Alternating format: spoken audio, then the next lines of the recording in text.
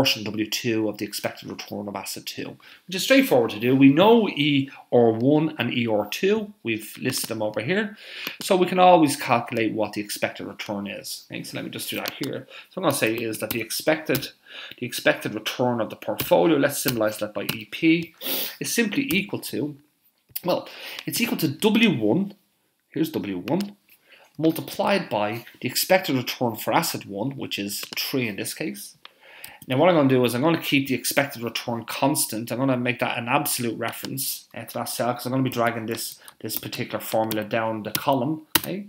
So that's the, let me actually just, sorry, so if we had 100% in, in the portfolio, we would expect the return to be 100% of uh, asset one in the portfolio. We would expect the return to be to be three percent. Okay, and let me just I just want to left align that cell there. Okay, so that the formulas actually are okay.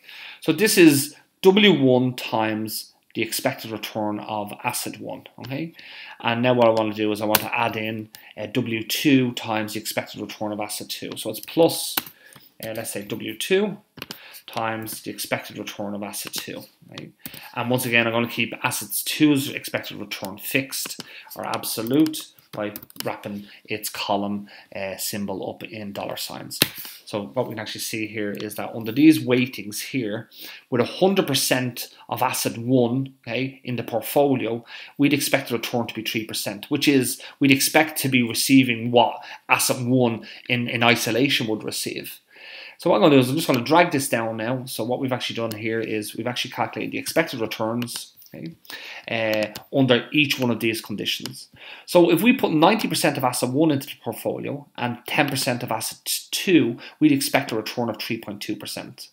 If we put 50% of asset 1 and 50% of asset 2, we'd expect a return of 4%. Okay? And that's based off this particular formula here.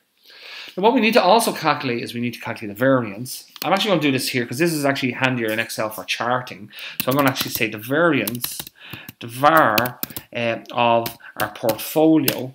Oh, let me just do that in caps. Okay, the var of our portfolio. Okay, the var of the portfolio is defined here. It's the first weighting squared times times the variance of the first portfolio plus the second weighting squared times the variance of the second portfolio plus twice weighting 1 times weighting 2 times the correlation between the first and the second portfolio times each of their individual standard deviations. Now, we have all of this information. We have the W1s listed down here and the W2s Okay, and we also have the we also have the, the variances for each portfolio. There's sigma one squared and there's sigma two squared, uh, and we also have the correlation coefficient, which is which is uh, let's say which is rho one two, which is listed here. Albeit that's that probably should be R1 too because this is actually sample data that we're actually going to be dealing with and not, not actual population data. So these actually should be really modified yet to, to represent uh, sample values going in here. So the variance uh, is equal to, I'm just going to left align this so it doesn't uh, overlap. The variance is equal to uh, W1 squared, okay, so I'm just going to put that in brackets. It's W1 times W1 times the variance of the first portfolio, which is here. And what I'm going to do is I'm actually going to fix that because once again, we're going to fix the variance because that doesn't change when we're going down through the portfolios. The variance for that asset is going to be the same. Plus, it's W2 squared times the variance of the second portfolio. So that's going to be plus, we have W2 squared, which is this cell here times itself times the variance of the second portfolio, which is 4.2. And once again, I'm going to fix D19 uh, so that's an absolute reference to the variance of the second portfolio.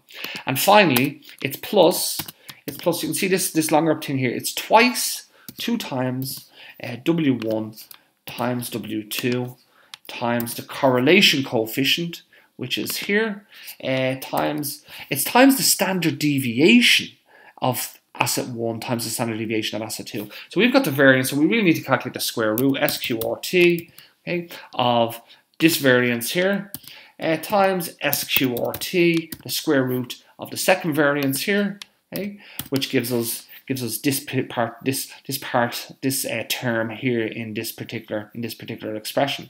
Okay. Uh, once again, we're going to keep our variances fixed, so I'm going to wrap them up in dollar signs. Okay, to wrap that up in dollar signs.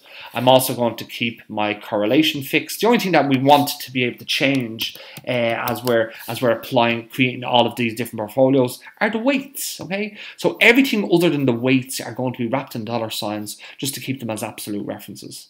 So in this particular case, when I hit return, you can see that the you can actually see that the variance, the expected variance, yeah, uh, when we have 100% uh, in of asset 1